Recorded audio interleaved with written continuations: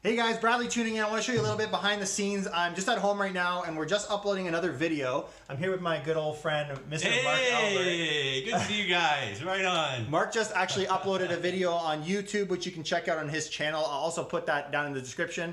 Uh, but we did a collab together. We're excited to share with you guys. But Mark is really my expert when it comes to interest rates. And some people are asking me what's going to happen with interest rates. So I thought, well, I got him here. Why not? Yeah, good give us a question. Well, last week the Bank of Canada they decided to maintain the rate, so rates are going to stay the same. The next time the Bank of Canada make an announcement is going to be end of April and then the end of May.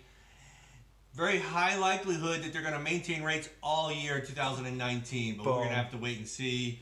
Right now, rates are good, so timing's good to purchase. The market's hot, so I would connect with Bradley and. Uh, This is why I talk to this guy. it. I love it. Okay, guys, so you can check out that channel. I'll see you next time. Make sure you hit that bell for notifications. We're going to continue to put out great vlogs just like this. Take care and keep it real.